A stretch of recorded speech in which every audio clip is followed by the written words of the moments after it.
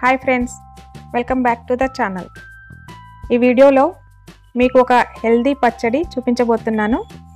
అది కూడా నీళ్ళలో ఉడికించి చేసేది. ఇది ఇడ్లీ దోశ రైస్లోకి కూడా బాగుంటుంది. వీడియోని స్కిప్ చేయకుండా పూర్తిగా చూడండి. ఈ పచ్చడి నచ్చినట్లయితే లైక్ చేయండి. మరి ఇంగ్రీడియంట్స్ చూద్దామా? పావు కప్పు పల్లీలు టమాటోలు రెండు మీడియం అయితే రెండు చిన్నవైతే మూడు. పచ్చిమిర్చి నాలుగు ఎండుమిర్చి నాలుగు.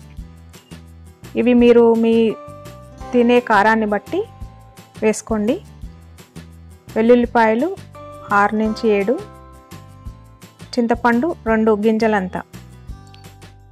తాలింపుకి ఒక టీ స్పూన్ ఆయిల్ ఆవాలు జీలకర్ర మినపప్పు శనగపప్పు కలిపి రెండు టీ స్పూన్లు. ఎండుమిర్చి ఒకటి కొంచెం కొన్ని కరివేపాకు రెబ్బలు. పచ్చడి చేసుకుందాము. దానికి ముందుగా కడాయిలో పావు కప్పు వాటర్ పోసి అందులో పల్లీలు కట్ చేసుకున్న టమాటాలు తర్వాత పచ్చిమిర్చి ఎండుమిరపకాయలు వెల్లుల్లి రెబ్బలు అలాగే చింతపండు వేసుకొని కొంచెం ఉప్పు వేసుకోవాలి. తర్వాత ఇదంతా బాగా మిక్స్ చేసుకోవాలి బాగా కలుపుకోవాలి. ఇలా కలుపుకున్న తర్వాత దానిపైన మూత పెట్టి హై ఫ్లేమ్లో ఒక రెండు నుంచి మూడు నిమిషాలు ఉడికించుకోవాలి. ఇప్పుడు మూడు నిమిషాల తర్వాత చూద్దాము. ఇప్పుడు మళ్ళీ ఇది ఒకసారి కలుపుకొని ఇప్పుడు మీడియం ఫ్లేమ్లో నీళ్ళంతా ఎగిరేంత వరకు ఉడికించుకోవాలి. మరీ గట్టిగా కాకుండా కొంచెం వాటర్గా ఉంచుకోవాలి. లేదంటే పచ్చడి బాగా గట్టిగా అయిపోతుంది. ఇప్పుడు చూసారా? ఇదిగో ఉడికిపోయింది. వీడియోలో చూపించినట్లుగా ఈ టైంలో మనం ఒక ప్లేట్లోకి తీసుకుందాం. ఇప్పుడు స్టవ్ ఆఫ్ చేసుకోవాలి. ప్లేట్లోకి తీసుకొని ఇది చల్లార్చుకోవాలి. ఇప్పుడు చల్లారిన తర్వాత దీన్ని మిక్సీ జార్లో వేసుకోవాలి.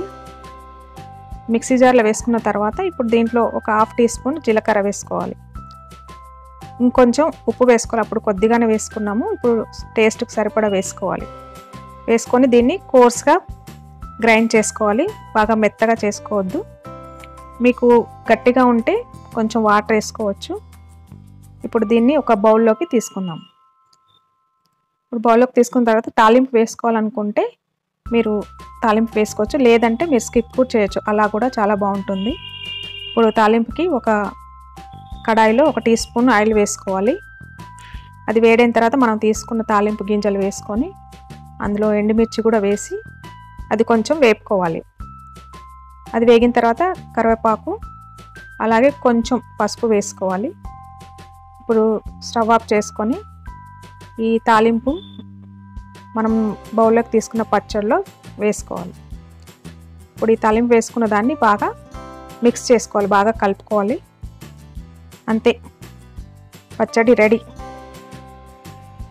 ఈ పచ్చడి ఫ్రిడ్జ్లో అయితే మూడు నాలుగు రోజులు నిల్వ ఉంటుంది. బయట అయితే ఒక రోజే ఉంటుంది. ఇది ఒకసారి ట్రై చేసి చూడండి. మరి ఎలా వచ్చిందో కామెంట్లో పెట్టండి. Thanks for watching.